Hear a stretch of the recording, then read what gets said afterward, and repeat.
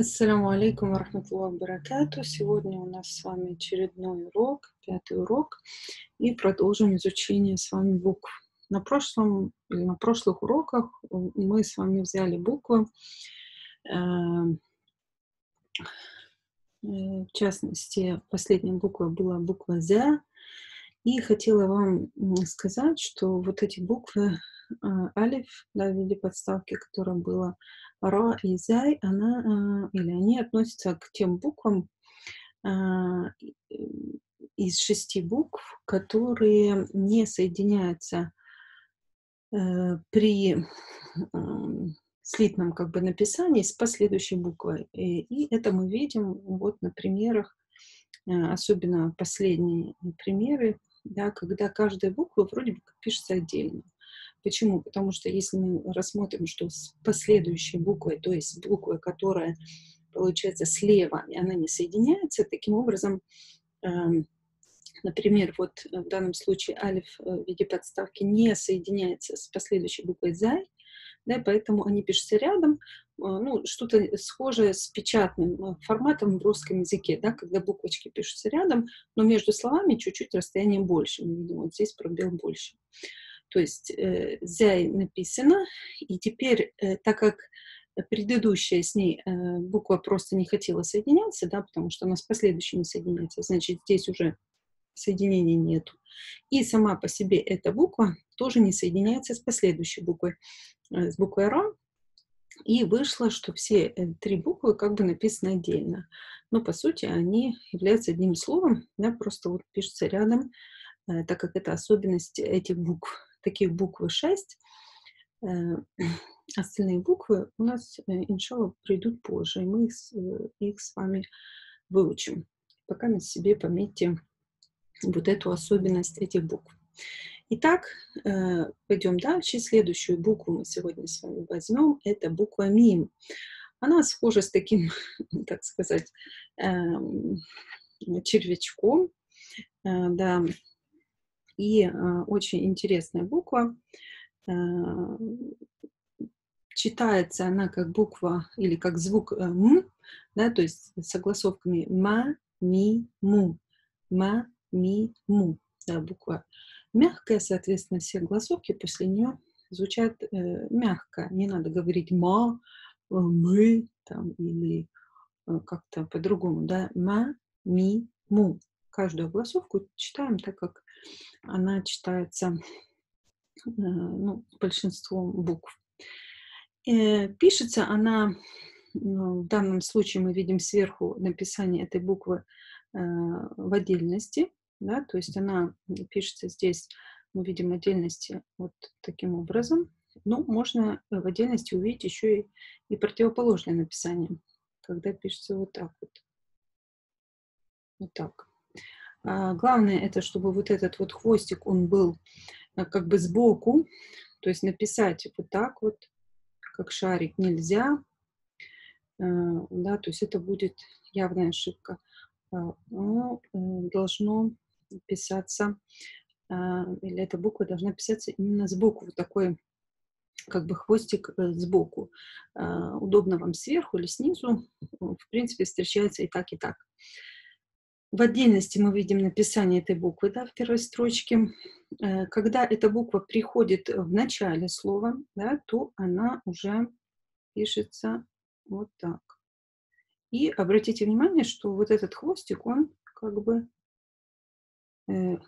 вот тут чуть-чуть я поднялась, то есть он, э, голова, а, вот этот кружочек, он сверху, а хвостик, он как бы опускается ниже строчки, когда вот она в отдельном формате. Когда же буква приходит в начале, она пишется, уже этот хвостик как бы э, пишется на строчку.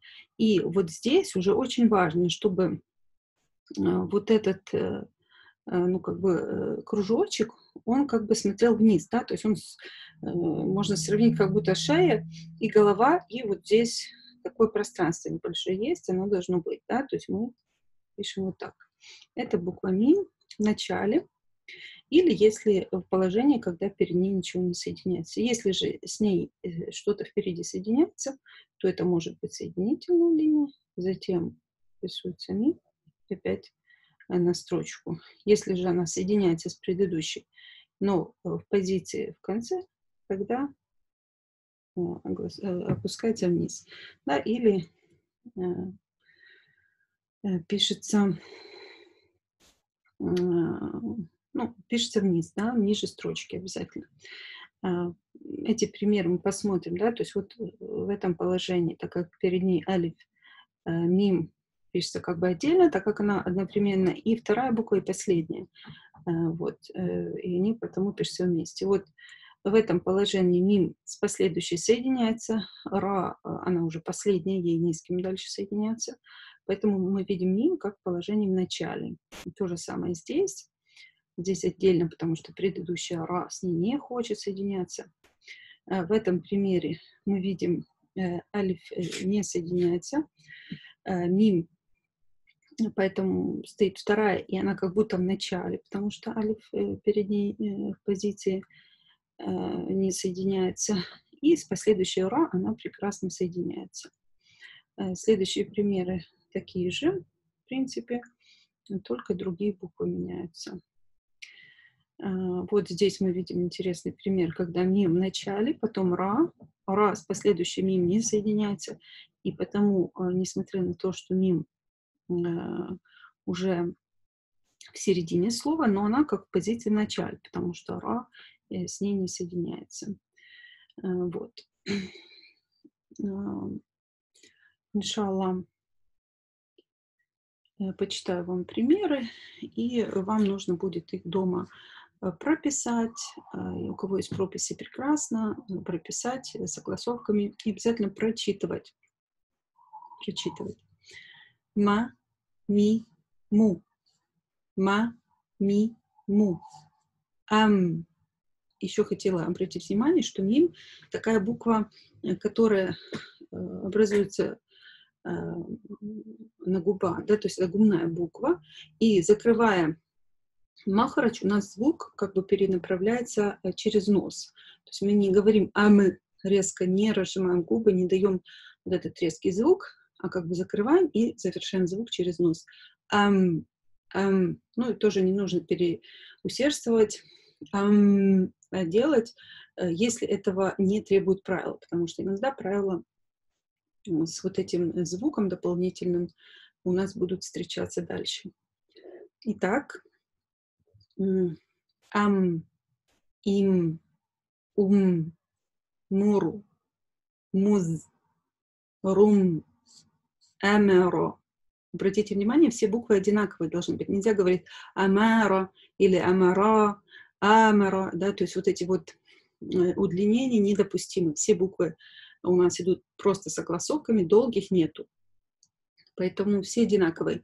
Амеро, амеро, умира, умира, амру, амру. Здесь буква с сукуном мы Э, не, не допускается а говорить «Амиру» или «Амиру» как-то похоже на какую-то гласовку, тоже э, не, не нужно делать.